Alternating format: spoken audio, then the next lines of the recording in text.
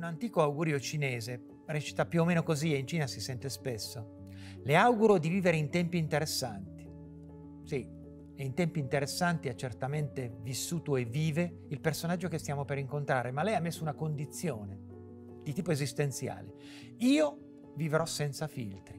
Io fonderò tutto quello che creerò, dirò, racconterò, insegnerò sulla spontaneità.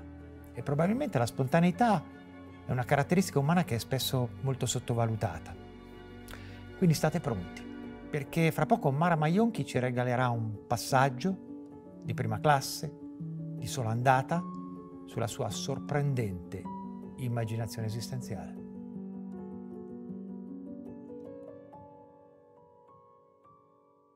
Prologo. Prologo. Il mondo senza musica sarebbe? È bruttino.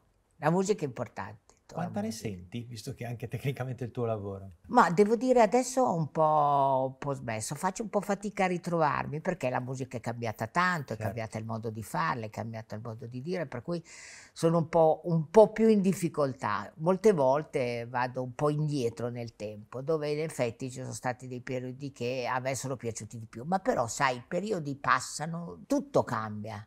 Anch'io sono cambiata. Allora, la nostra storia ha un incipit folgorante che se uno si mettesse lì a crearlo difficilmente ci riesce. Tu, il Corriere della Sera, nel 1967, lo stai sfogliando? Cercavano una segretaria per l'ufficio stampa, io mi sono presentata e il capo, che era il proprietario della società Ariston, mi ha assunto. Come fai a entrare come segretaria e diventare, uno spazio di un anno e mezzo, la direttrice della comunicazione? Ah, questo non lo so neanche io, cioè si vede che facevo ridere il signor Rossi. Eh, che era il basta far ridere il signor Rossi? No, qua, no, no, riuscivo a rompere le scatole abbastanza bene, i giornalisti diventavamo amici, facevano qualche, qualche articolo per il mio artista, eccetera. Nella tua storia ho sentito dieci volte dire, oh, arrivava e in qualche modo sembrava che lei sapesse di noi più di noi. Un discografico dice, e questa qua chi è? Perché ha detto una cosa che magari noi qua non abbiamo pensato, lei viene dal nulla dal nostro punto ah, di vista nulla. e invece sa dire una cosa che ci aiuta. Ma guarda, io devo dirti che poi c'è un destino, perché io certe volte ho fatto delle cose che a istinto, e per cui l'istinto era guidato neanche tanto dal ragionamento, non avevo motivo di ragionare sul successo di un ragazzo che non sapeva scrivere le canzoni di un'altra peggio che peggio, voglio dire, però avevano qualche cosa che avevano colpito la mia fantasia, per cui secondo me bisognava lavorare su quello tu sei una da riposizionamento per un artista, cioè con la tua comunicazione dice a un artista io farei così. Non è che devi dire fai questo, fai quello, no, tu devi dire questo, mm, questo, mm, questo mm, sì, carino, cioè tu fai solo da specchio, cioè deve tirar fuori quello che è, oppure far finta, perché alcuni fanno anche finta di essere quello che sono delle dieci cose che Mara ha fatto per l'umanità, in senso Io, musicale, musicale italiano. Ecco. No, no, cito una persona che me l'ha detto. Le devi assolutamente chiedere di come ha procurato a Ornella Vanoni la copertina suggente, perché lì dice, è tutta la cifra, hai la cifra della Mara si era messo in testa che voleva sta copertina su oggi, insomma, ah, oggi. oggi, oggi, oggi, oggi. Allora ho deciso di andare dal povero Buttafava, che era allora il direttore, insomma, morale, mi sono seduta fuori, sono stata fuori ad aspettare, finché lui è uscito e ha detto, gliela faccio sta copertina, basta che vada via. Prendiamo questi magnifici 80 anni della tua vita, andando avanti e indietro nel tempo, che percezione hai del tempo? Io certe volte sono, faccio come se il tempo non fosse passato, poi improvvisamente mi rendo conto che invece il tempo è passato e mi accorgo da tante cose, mi accorgo da come mi fa male il ginocchio, eh, ascolto delle canzoni che di primo acchito non capisco, allora mi intestardisco ad ascoltare perché se fanno successo un motivo ci sarà, non è che io sono il Padre Eterno che decido, eh, io credo che qualcuno qualcuno che fa successo in tutti i tempi abbia qualcosa da comunicare a quelli che fanno parte di quel tempo. Chi è che ha avuto più influenza di tutti su di te? Beh, non c'è dubbio, gli artisti come Giulio, Dalla, De Gregori, cioè sono stati i più, i più importanti della mia storia.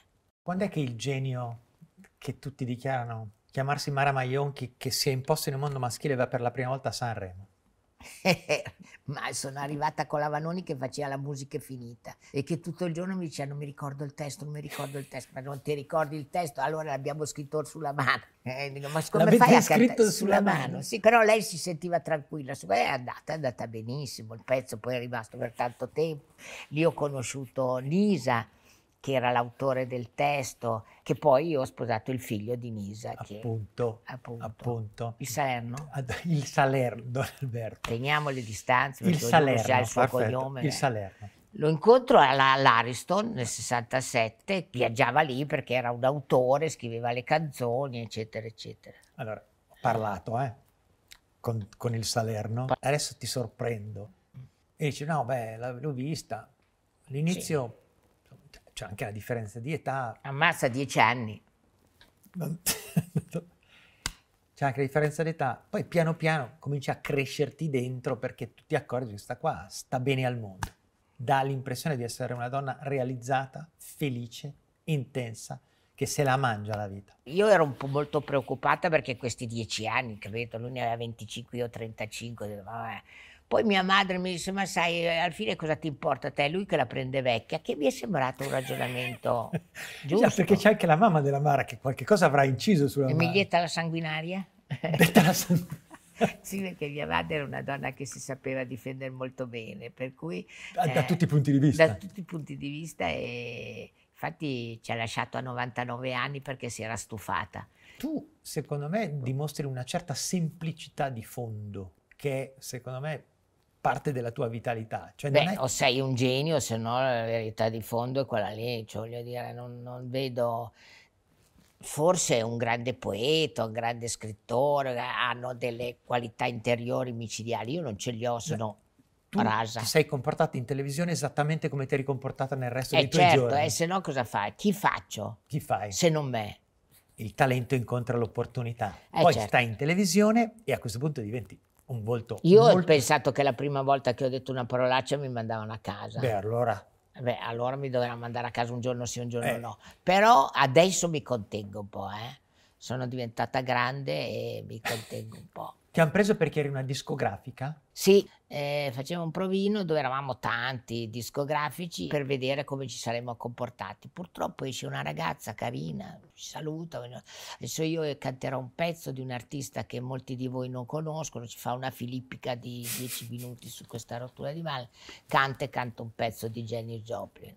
Eh, allora lì mi sono offesa. Per cui gli ho detto, senti, ma tu pensi che noi siamo così ignoranti? Ma vergogna, dai, un po' di rispetto. Eh? eh. Allora Gori disse lei. E facemmo la Simona, io e Morgan. C'è una, una frase che qualcuno ti ha detto che ti ricorderai per sempre? Quando le mie figlie mi fanno arrabbiare mi viene in mente solo ti voglio bene. Mi piace quella roba lì di sentirmi ti voglio bene.